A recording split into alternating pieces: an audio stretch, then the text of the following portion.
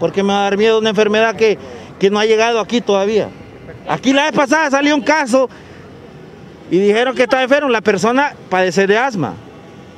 Y dijeron que era coronavirus y todos se regaron ahí. Ahí está la señora otra vez. ¿Hacia dónde se dirige usted, caballero? ¿Hacia dónde se dirige Aquí a la 3 de mayo, aquí vivo yo. tránsito de carros que no es viable para nosotros, para la colonia 3 de mayo, ¿me entiendes? Nosotros lo que estamos cuidando es la bioseguridad y esta pandemia, porque mucha gente no viene con, lo- con, lo- con la ley que ha, ha dictaminado este gobierno, no viene con seguridad y además no, no es el dígito que es, entonces nosotros estamos tomando esto para que las autoridades de Sinajer nos apoyen para esta situación que tenemos nosotros, porque tenemos que hacerlo nosotros los vecinos para cuidar nuestros vecinos y nuestro, nuestra situación en la cual estamos enfrentando ahorita esta, esta, esta cuestión. Tengo entendido también que ni el agua potable ha, ha- ha llegado, porque el gobierno está diciendo hay que lavarse las manos constantemente con jabón y agua, y no hay agua. No hay agua, eso es cierto. Eh, ahorita no nos ha venido agua, lo que están entrando son tanques de agua para que, no, que, que siempre la- las colonias compramos, ¿me entiendes?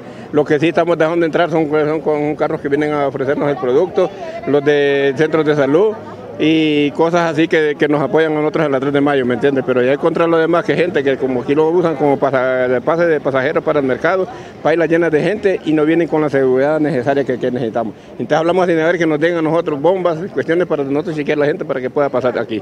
Esa es nuestra, nuestra labor. Lo que nosotros como ciudadanos y habitantes de este sector estamos evitando es la aglomeración vehicular. Por el motivo de que eh, todos los vehículos, como está cerrado el Boulevard del Norte, entonces todos los vehículos eh, han agarrado de pasada acá. No se puede. Ayer vine y fui testigo de que por 20 minutos una señora de la tercera edad quiso cruzarse la calle y no pudo, porque mientras va pasando un carro, viene una motocicleta por en medio de la calle, entonces tienen que ser, uno tiene que ser precavido y tiene que estar más tiempo esperando a que, se, a que, a que fluya el, el tráfico. Hay que ser equitativo, caballero. Hay que ser equitativo en el marco de- del toque eh, del prohibido del paso. Los mototaxis están trabajando. Están viniendo personas del mercado zonal Belén, agarran el mototaxi y sa- entran a la colonia. ¿Qué pasa con estas personas? Los vehículos no, pero las personas a pie sí pueden entrar. A pie perfectamente puede circular, porque el problema es que ahorita, lastimosamente, en este momento no tenemos el censo de la gente. Entonces no podemos, no somos una autoridad competente para detenerlos, pero sí nos gustaría el apoyo de la policía, que aquel que va a entrar 3 de mayo presente su identidad. Mira, como el caso del muchacho este motorista, viene bravo, le estamos dando la pasada y entonces en esa situación no podemos, porque acá anda un montón de gente Mire, va- va. Está bien en la protesta, pero mire, todo eso se va a regular. El problema es que hoy queremos una respuesta de las autoridades y queremos evitar el equipo, eh, el motor, el equipo más, más grandecito. ¿va? La Pero moto, ¿Para qué la identidad? ¿Para qué la identidad? ¿Por qué tengo una persona porque tiene que enseñarle la identidad a usted si usted no es autoridad? por lo mismo le estoy Pero, diciendo, o sea, que no la estamos pidiendo nosotros, pero sí queremos que las autoridades sean más drásticas en ese sentido. Si alguien no tiene que hacer en la calle, ¿por qué va a andar? Yo estoy respetando mi toque de queda. Dicen que a mí me toca circular el viernes. Hasta el viernes iba a salir.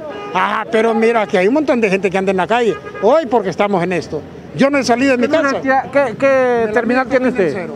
Cero, salgo hasta el viernes. ¿Y, y cuándo- y por qué anda aquí? Porque estoy en la protesta, yo soy representante del patronato. No puedo dejar la gente sin representación. A mí me corresponde salir el día jueves. Y, qué- y- oye, oye, y yo soy oye, vec- miércoles. no, yo soy vecino de la 3 de mayo y yo respeto mi cuarentena. Ustedes, las personas que vieron hace un momento en ese vehículo, él circula todos los días porque no respetan, señor. Lo que estamos queriendo es dar a entender es que tenemos problemas serios con esta circulación de vehículos en la calle principal de la 3 de mayo.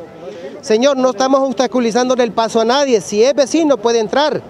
Pero ¿sabe qué es lo que sucede? Que si usted viene y toma y quiere, si usted viene y quiere, haga una encuesta ahorita y vaya pídales la circulación a cada una de las personas que están ahí. No lo andan.